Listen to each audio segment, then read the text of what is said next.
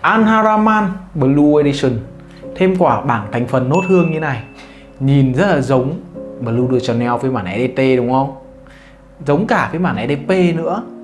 Và đây là một sản phẩm của một nhà chuyên làm clone chúng ta đã có phiên bản Ru giống với Baccarat Ru 540 của MFK chúng ta đã có Tobacco Edition giống với Tom Ford Tobacco Vanille và liệu em này nó có giống với Blue de Chanel hay không?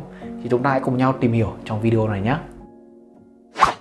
Về ngoại hình chúng ta đã quá quen với thiết kế của nhà An Haraman rồi.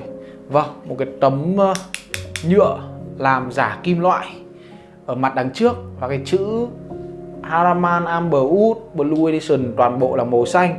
Và cái phần thủy tinh đằng sau cũng được làm màu xanh nước biển luôn. Trông thì có vẻ rất là mướt mắt. Cộng thêm là cái phần vòi xịt của con này thì ờ, mình không đánh giá cao vòi xịt này. Nó mức ở mức độ gọi trung bình rồi trung bình trung bình khá thôi. Vẫn thua vòi xịt của Missoni.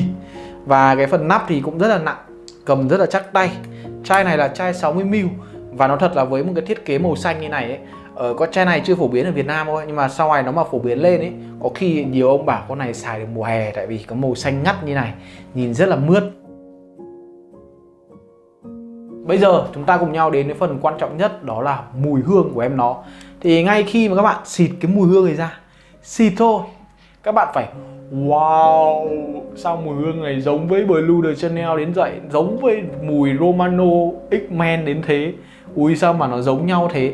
Mình đảm bảo luôn, Nếu chỉ cần các bạn chỉ cần xịt cái mùi hương này ra Mà cho các bạn nữ ngửi các bạn vào, Giống mùi Romano, Giống mùi X-Men và cái lý do vì sao lại giống với những cái mùi X-Men Romano thì mình cũng đã giải thích ở trên TikTok rồi. Rảnh qua qua TikTok xem nha, Có nhiều video ngắn khá là hay đấy. Thì cái top nốt của nó rất giống với Blue de Chanel phiên bản ET Xịt ra thì gần như là các bạn khó mà có thể nhận biết được. Mình đã có khoảng tầm 2 tuần rưỡi trải nghiệm cái mùi hương Blue Edition này. Thì trong một tuần đầu, mình gần như là ngày nào cũng xịt từ việc là đi làm đến đi chơi đến kiểu đi linh tinh cuối tuần thôi thì mình vẫn xịt Blue Edition để mình xem là mùi hương nó biến chuyển như thế nào. Và đến tuần thứ hai thì mình test cả hai mùi ở trên da để xem là nó có phải là một cái phiên bản clone tốt không. Thì mình thấy rằng là nó có sự khác biệt nha cái sự khác biệt ở cái top nốt này đó là khi mà các bạn nhìn vào những cái chai nước hoa uh, thành phần của Blue de Chanel ấy các bạn sẽ thấy là nó có một cái nốt hương khác với em này mà em này không có đó là nốt hương nhang thì cái mùi hương này khi các bạn xịt ra các bạn sẽ thấy là mùi hương nó có phần bay hơn sáng hơn và nó có phần kiểu trẻ và năng động hơn. Còn với em này chúng ta sẽ thấy là nó có một cái độ gần một cái độ nghiêm túc về mùi cảm giác. Mặc dù vẫn là suy chút đấy vẫn sáng đấy vẫn rất là kiểu uh, tươi mát nhưng mà nó vẫn có một cái độ trầm mà các bạn cảm thấy là nó có một cái gì đấy kiểu kìm nén right out về sau thì hai cái mùi hương này nó đi theo hai chiều hướng khác biệt. Blue de Chanel thì xuất hiện gỗ cái thứ cũng thêm những cái nốt hương ngọt làm cho cái mùi hương nó trở nên dày và tối hơn. Nó khác hẳn với cái top nốt ban đầu. Còn với Blue Edition thì cái mùi hương nó không có sự biến chuyển quá là nhiều. Có thể nói là top nốt như thế nào thì dry down nó như vậy. Nó chỉ bớt đi một cái độ tươi và cái mùi hương nó trở nên ấm hơn một xíu. Nó không xuất hiện quá là nhiều nốt hương. Nên là với cái phiên bản này ấy, thì mình nghĩ rằng là các bạn sẽ cảm thấy rằng là nó có phần dễ dùng hơn với những người mới, nhưng mà với những người chơi thì Blue Edition nó có vẻ quá là nhàm chán và thậm chí đánh giá Blue Edition là một cái phiên bản clone khá là tệ mà chỉ giống mỗi cái nét hương đầu thôi. Nói về câu chuyện giống với Blue de Chanel thì gần đây thôi, mình đã review em Missoni Parfum rồi nó giống Blue Chanel nhưng mà nó giống ở khoảng giữa. Nó không có cái độ mở đầu tươi mát bằng mà nó vào thẳng ở khoảng giữa luôn. Và nếu như mà giống hẳn thì chúng ta đã có ờ, uh, Jet I Am King Lee Parfum rồi. Là một cái mùi hương đánh giá rất là giống giống từ top nốt cho đến sự biến chuyển biến chuyển về sau. Và mùi hương nó có phần mỏng hơn. Nghe đến đây thì rất là khó để có thể lựa chọn đúng không? Liệu mua em nào thì có thể là tốt nhất? Nhưng mà thôi cứ từ từ. Tí nữa mình sẽ phân tích cho các bạn là các bạn chọn gì nó hợp lý phù hợp với các bạn.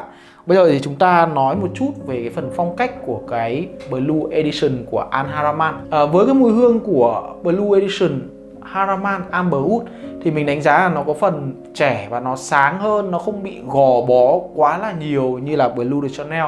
Em này thì mình nói rồi đó lại là tầm 23 tuổi các bạn đi làm thì các bạn mới nên xịt và nó có một cái phong cách nghiêm túc, một cái sự kiểu, nó cần một cái sự kiểu lịch sự, lịch thiệp của nhà Chanel. Và các bạn phải mặc những cái bộ vest nọ đấy kia hay là mặc bộ sơ mi. Còn với Blue Edition này thì các bạn có thể thoải mái hơn, phóng khoáng hơn về cái phong cách. Nếu như nghĩ tới hai công việc khác nhau với hai mùi hương này, thì mình nghĩ là với Blue Edition thì chúng ta sẽ là những cái bạn trẻ làm những cái nghề như kiểu media, social media này, rồi IT ở những cái công ty mà rất là nhiều người trẻ với nhau, chúng ta không bắt buộc phải mặc đồng phục. Chúng ta chỉ là mặc những cái áo nó đủ, có có có cái sự lịch sự, có một cái sự chỉn chu thôi. Còn với em này thì chúng ta như kiểu là chúng ta làm dân sale, dân bất động sản vậy. Lúc nào chúng ta phải ăn mặc khoác lên mình để tạo ra một cái sự sang trọng, tôn trọng với những người đối diện. Đó và hai cái phong cách nó cũng khá là khác nhau. Như em này mình nghĩ là trẻ hơn, chắc là tầm 20 tuổi là có thể xịt được rồi. Chỉ cần là muốn một cái mùi nó chỉn chu, lịch sự, cũng như là có một cái nét gì đấy vẫn giống với Blue de Chanel thôi. Và cũng vì cái mùi hương nó sáng và nó trẻ hơn. Thế nên em này thì nó sẽ dùng được nhiều dịp hơn. Như Blue Chanel thì mình nói là chỉ có thể đi làm, đi kiểu đến những cái buổi lịch sự một xíu. Còn với cái mùi hương này thì các bạn có thể đi chơi này, đi hẹn hò cũng rất là ok. Rồi cái thời tiết, Blue Chanel chắc là tầm 32 độ, quay đầu là gần như là rất là khó để có thể sử dụng tốt. Nhưng với em này, không có nhang, mùi hương nó không bị nét dày dặn già, nên các bạn có thể tầm 35 độ quay đầu là các bạn có thể xịt được. Thêm thông tin về độ bám tỏa thì Blue Edition lưu ở trên da mình lúc nào cũng được khoảng tầm 7 đến 8 giờ, thậm chí là hơn. 8 giờ chắc mình nghĩ rằng là lúc nào cũng có thể chạm ngưỡng đấy. Tại vì với những hôm mình test, chủ yếu là mình ngồi điều hòa ở chắc là rơi test vào khoảng tầm gần 20 ngày thì hơn một nửa số đó mình ngồi điều hòa. Còn không thì mình cũng đi ra ngoài thì mình cảm thấy là mùi hương nó lưu rất tốt, tầm 8 tiếng là thừa sức tại một buổi trực của mình, rơi vào tầm 6 tiếng rồi ấy mà về nhà mình vẫn ngửi thấy mùi, mình hoạt động thêm nửa ngày nữa mình vẫn ngửi rõ mùi. Và cái thứ hai là mùi hương này nó cũng hiện diện rất là rõ rệt nghĩa là độ tỏa hương của nó khiến cho những người xung quanh bạn có thể ngửi được nó độ tỏa hương tầm hơn nửa cánh tay. Và nó khá là lâu thì nó bắt đầu nó mới trở thành mùi skin scent chắc là khoảng tầm 7 6 7 tiếng bắt đầu nó mới thành một cái mùi nhẹ nhẹ trên da. Thế nên là đây cũng là một cái mùi bám tỏa rất ổn và cái giá tiền của nó cũng rất là hợp lý khi mà chỉ bằng 1 phần 3 so với Blue Chanel thôi. Rồi, bây giờ mới đến phần quan trọng nhất là chúng ta nên lựa chọn những cái phiên bản clone nào Và mình nghĩ là đây cũng là một cái video chắc là cuối cùng mình làm clone về Blue de Chanel Thì chúng ta có Jet, I Am King ở trên kia ngay trên cao nhất. Chúng ta có Missoni Parfum và chúng ta có Blue Edition. Lựa chọn như thế nào? Nếu như bạn đang tìm cho mình một cái phiên bản clone giống hoàn toàn, có thể nói là 80% từ cái top note cho đến dry down, thì Jet I Am King làm ổn điều đó, làm rất tốt, giá rẻ. Nếu như bạn muốn ở khoảng giữa của Blue de Chanel thì Missoni Parfum làm tốt, vào ngay vấn đề, vào luôn thẳng phần giữa. Xịt ra phát, chúng ta thấy rằng là chúng ta đang ở phần giữa của Blue Channel luôn dry down luôn. Còn nếu như bạn thích cái nét top nốt cái nét kiểu ờ, tươi sáng, có một cái sự chỉn chu, thì Blue Edition làm ok và lưu giữ cái nét đấy rất là lâu ở trên da. Đấy, thế nên là các ông có thể hình dung được là các ông đang cần gì, đúng không? Còn nếu như các bạn cảm thấy rằng là ở tất cả những cái phiên bản clone đấy, nó không hợp lý, thì chân lý vẫn là đây. Đấy, còn nếu mà bạn hỏi mình à với hai phiên bản này thì mình chọn phiên bản nào? Mình sẽ chọn blue The chanel với một cái mức giá cao hơn. Tại vì với cái top nốt của em này hay bị nhận xét là giống mùi Romano X-Men mà lại còn tồn tại lâu nữa, không biến chuyển nhiều thì mình không muốn rằng là mình xịt một cái mùi nước hoa hơn triệu bạc mà bị nhận xét là mùi giống Romano giống X-Men.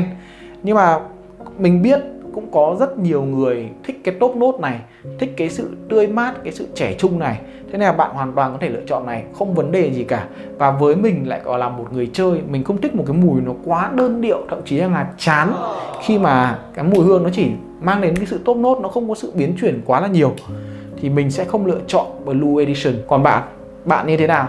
Bạn lựa chọn gì cho một cái phiên bản clone của Blue the Channel hay là bạn đếch thèm quan tâm vì tao đã có Blue the Channel rồi thì hãy bình luận ở bên dưới và nhớ rằng hãy cho mình một nút like, share nếu thấy video hay cũng như là nếu như đây là lần đầu xem kênh của mình thì ấn vào nút thông báo để có thể nhận được nhiều video mới hơn. Còn bây giờ thì xin phép xin chào và hẹn gặp lại.